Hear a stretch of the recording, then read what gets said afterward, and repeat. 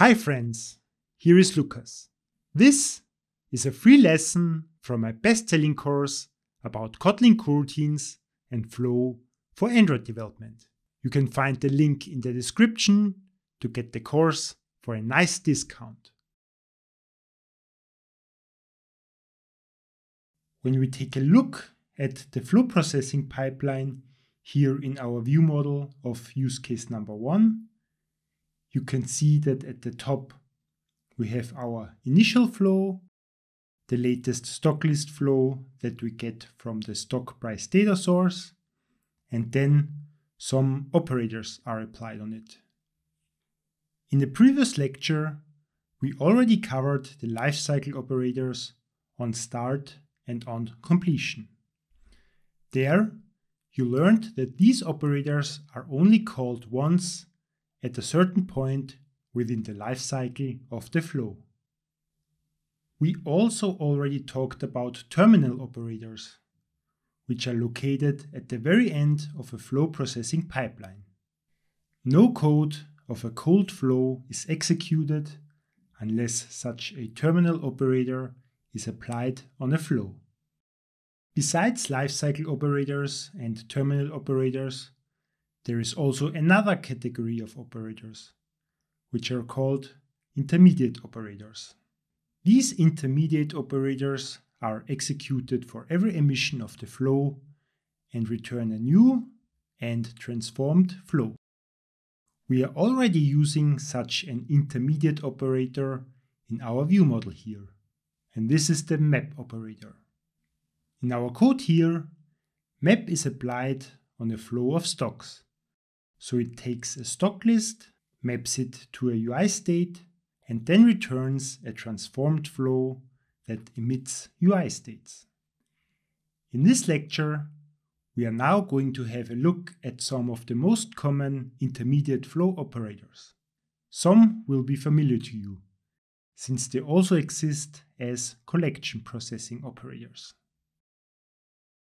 I already created a new file in our playground that's called one underline map dot kt. And in there, I created a new suspending main function in which a new flow is created. And in the collect lambda, we simply print out the collected values. The operator that we're already using, map, is pretty straightforward we can apply it on our flow of integer values here. And we can, for instance, multiply every received value by 10.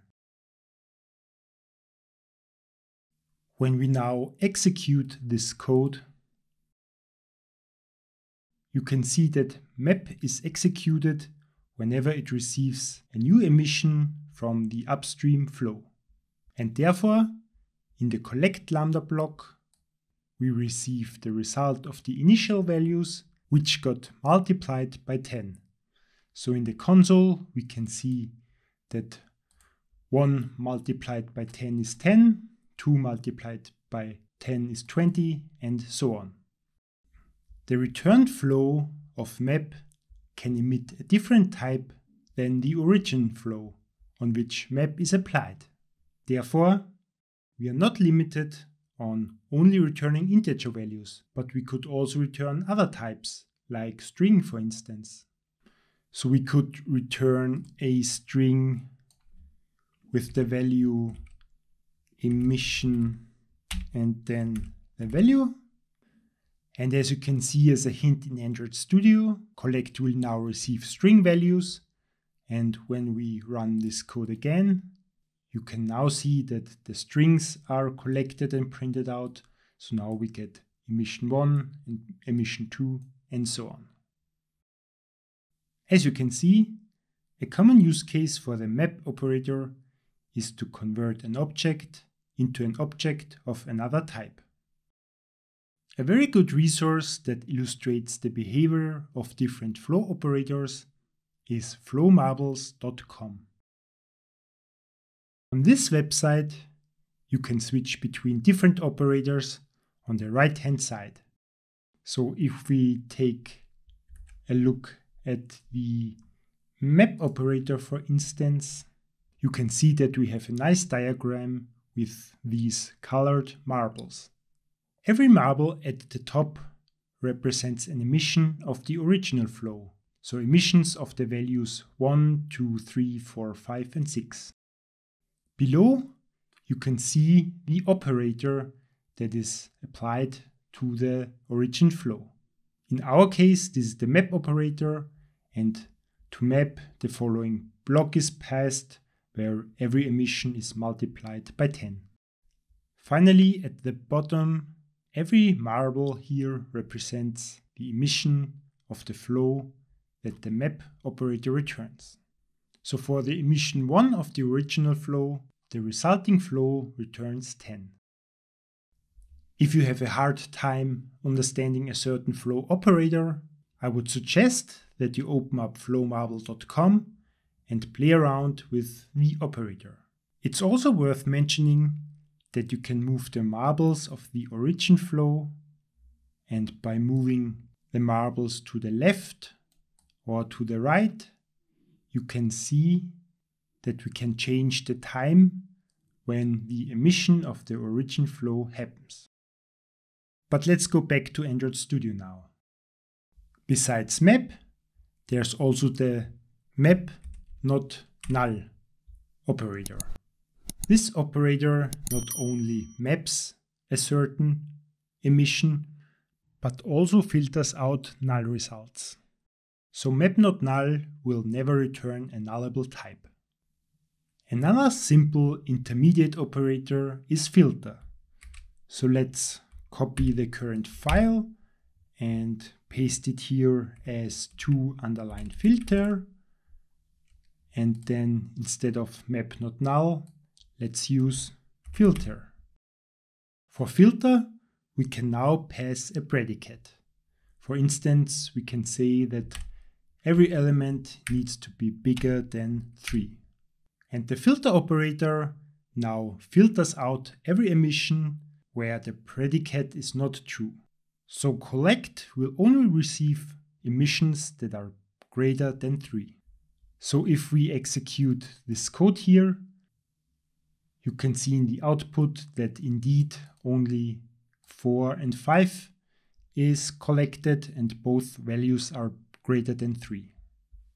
Another option would be to use filter not and what filter not is doing is that it filters out all emissions where the given predicate is true.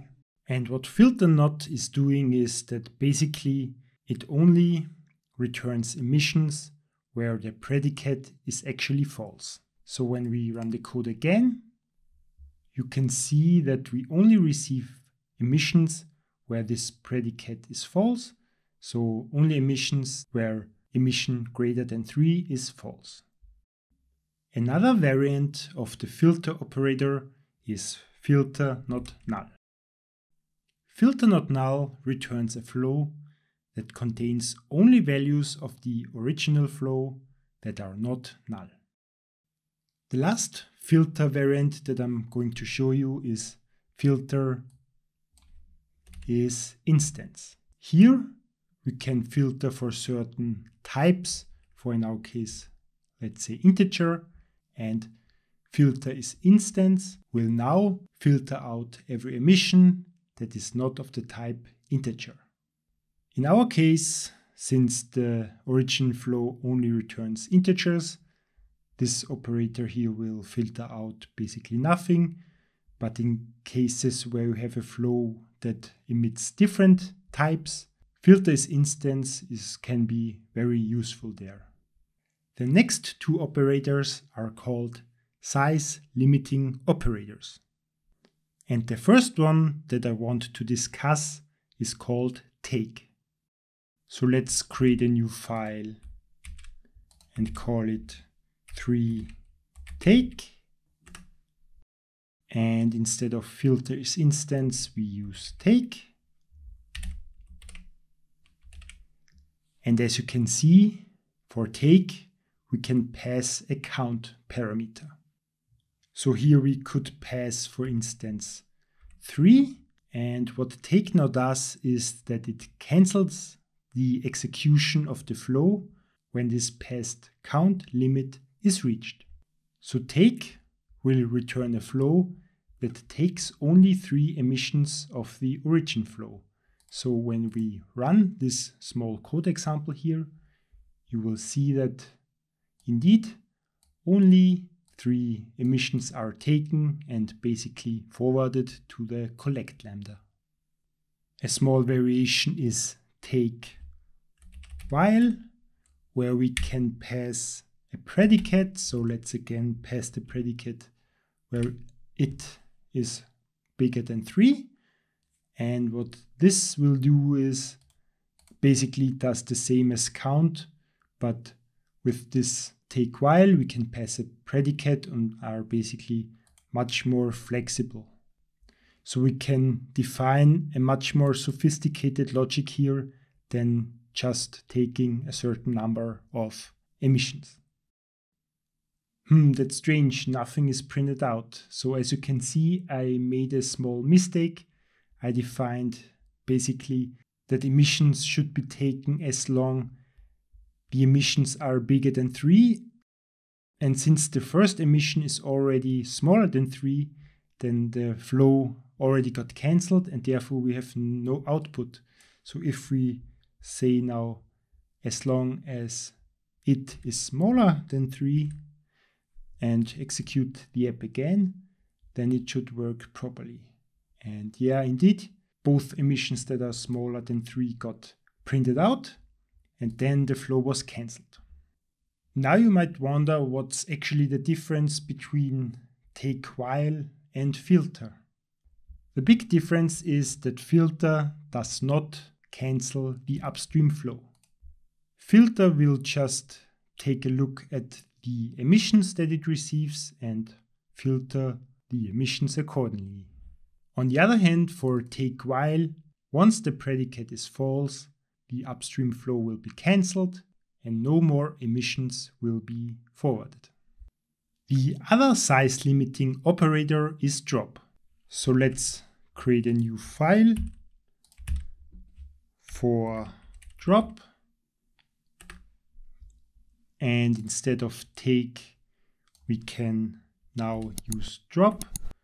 And again, here we can pass a count parameter and when we here specify 3 and execute this code, you can see that drop basically drops out the first three emissions, so 1, 2, and 3. And only after the first three emissions, the return flow will emit all subsequent values. So in our case, 4 and 5. One common use case for drop is to use drop with the count value of 1. And in this case, you're basically not interested of the first value, of the initial value, but you're only interested in all subsequent values.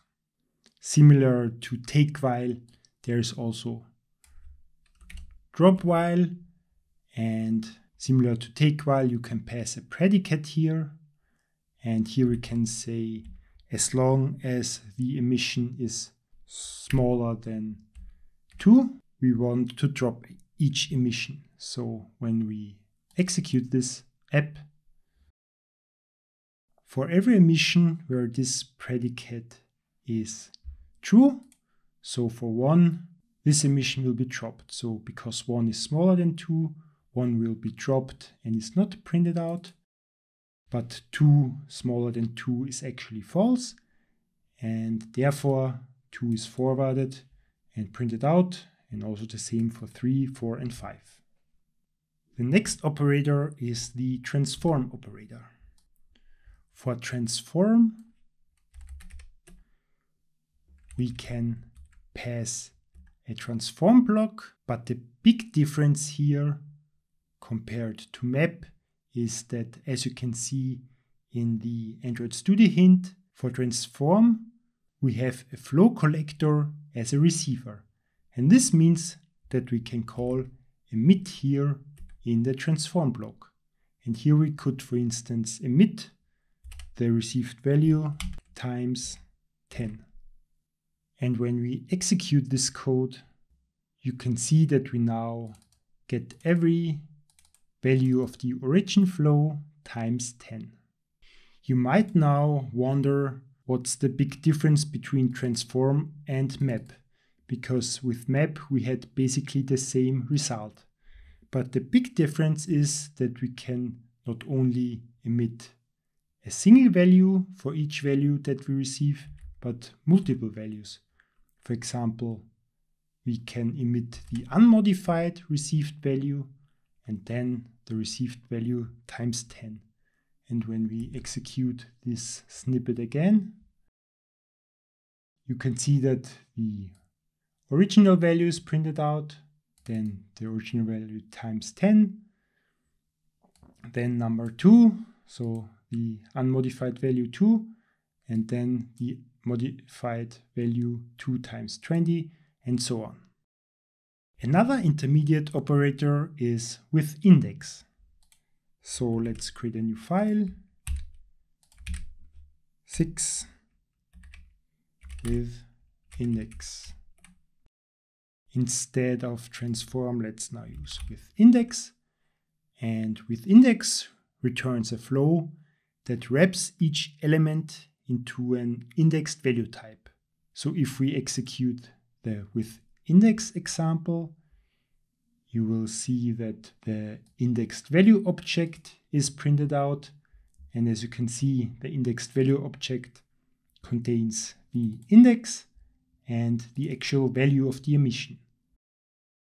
Last but not least, we have the intermediate operator distinct until change.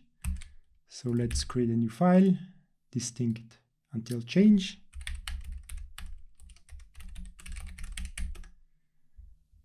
And use it here.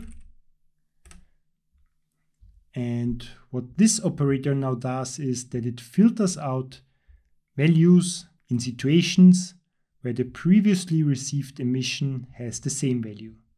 So for example, when we have emissions of the same value, here like 1 and 1, and we execute this code, then you can see that the second equal emission, the second subsequent equal emission will be filtered out.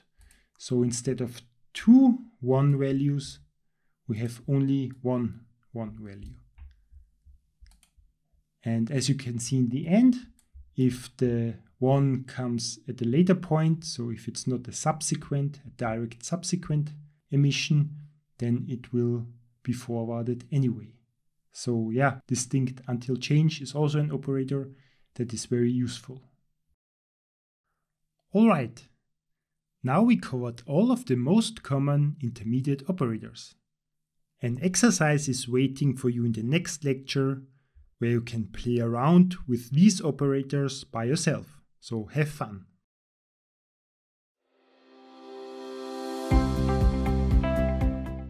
So if you want to dive deeper into coroutines and flow, then I can highly recommend my complete course that contains everything to fully understand and successfully use coroutines and flow in your apps.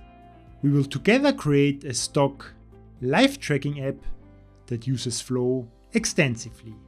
You will also learn about state flows, shared flows, channels, and many, many other topics. You can find a link to the course in the description, and I would love to have you on board.